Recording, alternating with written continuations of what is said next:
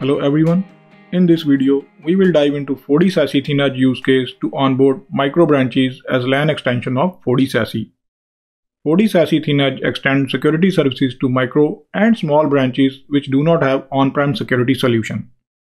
The LAN extension feature support FortiExtender for micro branches along with FortiAP for small branch use case. FortiExtender or FortiAP as part of LAN extension will connect a branch to the nearest FortiSASE POP utilizing VXLAN over IPsec and forward all traffic originating from the branch to SASE POP for security inspection. With that said, let's get started with the zero-touch provisioning of a FortiExtender 200F device. This feature will work the same way for all supported FortiExtender models. In this case, FortiExtender 200F is running on 741 release build and I have assigned a static IP to the port 1 interface. Alternatively, we can also set the port 1 to receive a DHCP IP from the ISP. Also, you can notice that currently no configuration exists for VPN, VXLAN or the switch interface to which the LAN is connected. For the successful zero-touch provisioning, the first prerequisite is to register FortiExtender under the same support account as FortiSASE. Once that is confirmed, we can navigate to the FortiZTP cloud service to seamlessly onboard FortiExtender as a LAN extension to the FortiSASE. Here we will select the FortiExtender device and click provision. Under the provision settings, we will select FortiSASE and click provision now. The provisioning process will take 2 to 3 minutes during which FortiExtender will acquire the necessary configuration to connect to the nearest FortiSASE POP.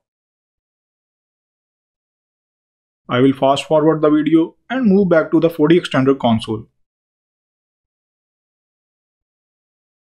Upon refreshing the browser tab, you can notice that VPN and VXLAN tunnels are up along with the LAN extension switch interface which has received a DHCP IP from the FortiSASE. Now let's shift our focus to the FortiSASE Cloud Console. Under the thin edge tab, we can find all the managed FortiExtender devices.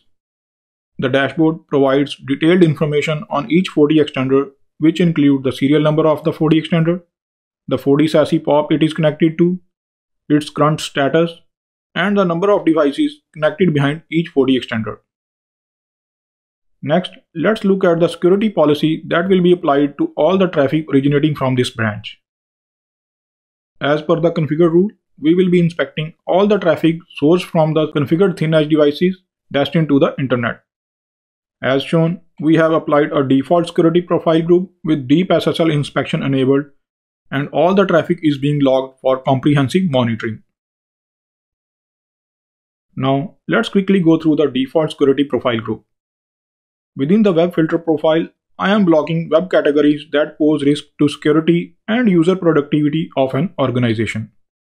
For this demo, I have blocked categories like gambling and security risks which include malicious, phishing, and spam URLs, as well as newly registered and newly observed domains.